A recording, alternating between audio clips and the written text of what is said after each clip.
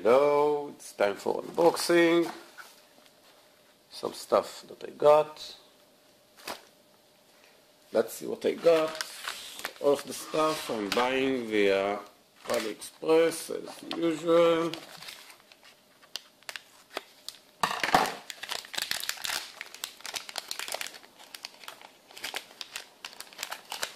Oh, come on.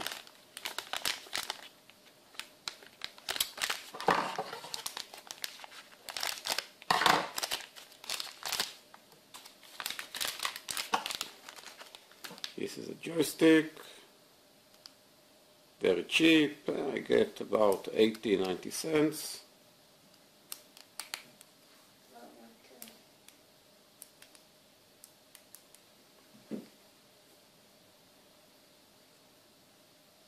This is a joystick, as you can see, got two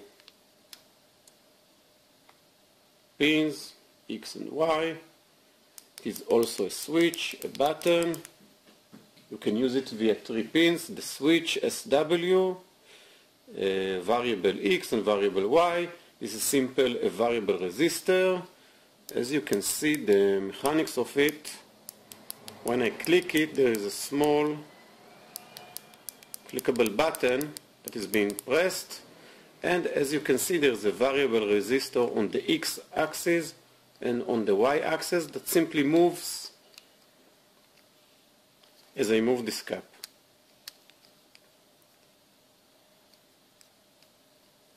Very simple mechanics, very simple joystick, simply gives an analog value on the variable x and variable y. Got two of them. Let's move on. Two USB to TTL adapters with some cables. You can never have too many of those. Let's see what I got here as well. Another Arduino. Hmm. The last one I got, I think, but it was from another store. I got the headers pre-soldered. I have to solder them myself. This costed about uh, $1.98 almost $2 very cheap. This is a board for the nano. I also need to solder these headers I bought it because I want to do a project that I don't want to use regular cables but I want to screw them so they won't come loose. There are two of them, each one uh, costed again less than a dollar. And what's this? Oh this is nice. I really waited for it. This is a servo tester. Let's open it up.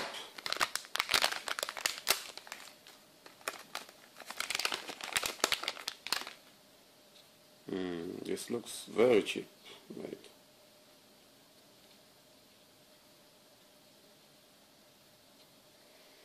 You connect the servo on this side. I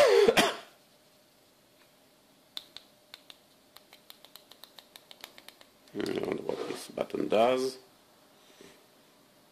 Three modes to check one. Oh, you can check up to three servos or ESCs, manual mode, and then with different speed, check the reaction time, neutral mode, make the servo go back to the neutral point, automatic, window wiper mode, make the servo swing like window wipers in the biggest angle. That's nice, it got three modes. Very useful to check if a servo is working operating correctly. This was also very cheap, uh, don't remember the price. This is also something that I waited for. Let's open it up.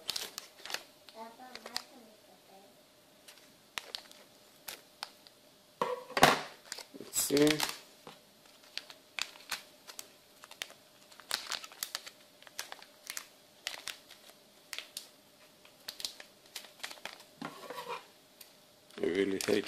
those plastic bags. Let's see.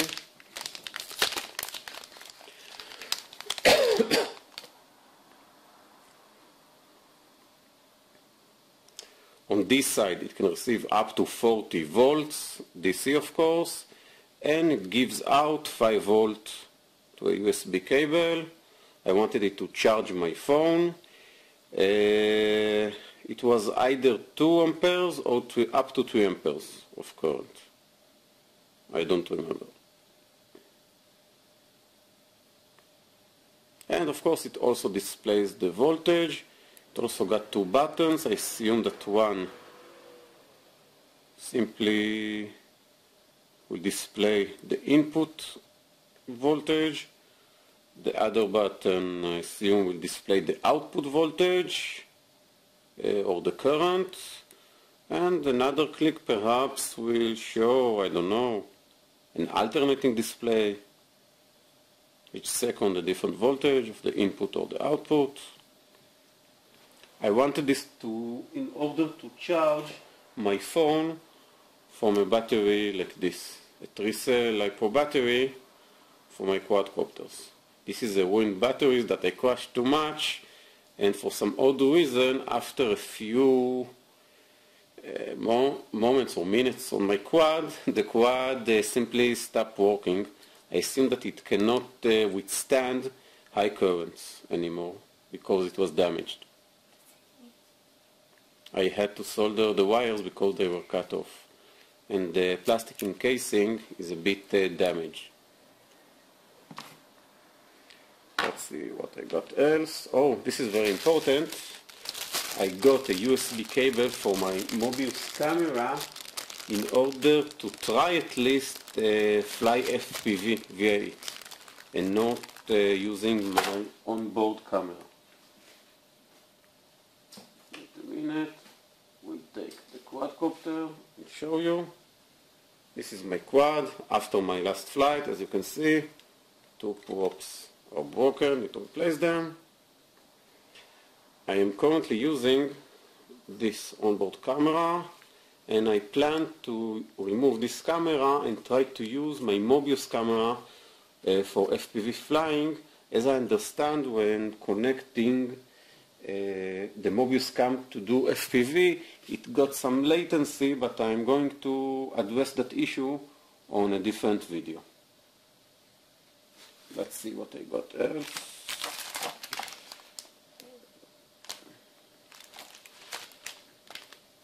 These are logic level converters.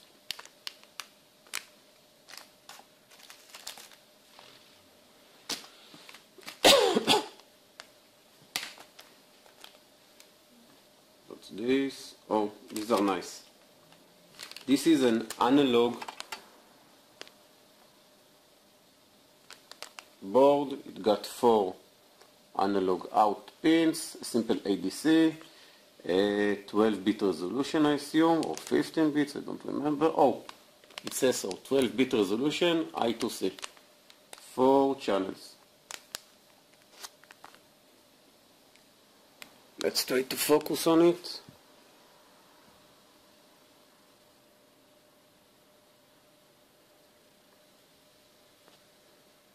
Well, oh, it managed to focus. Gonna experiment with it. If you got a Raspberry Pi, you don't have any analog pins, this is how you can address that issue. also got a nice gyro, three channels gyro, X, Y, and Z, I2C of course,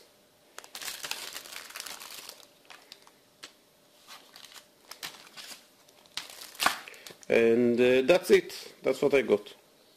Bye for now.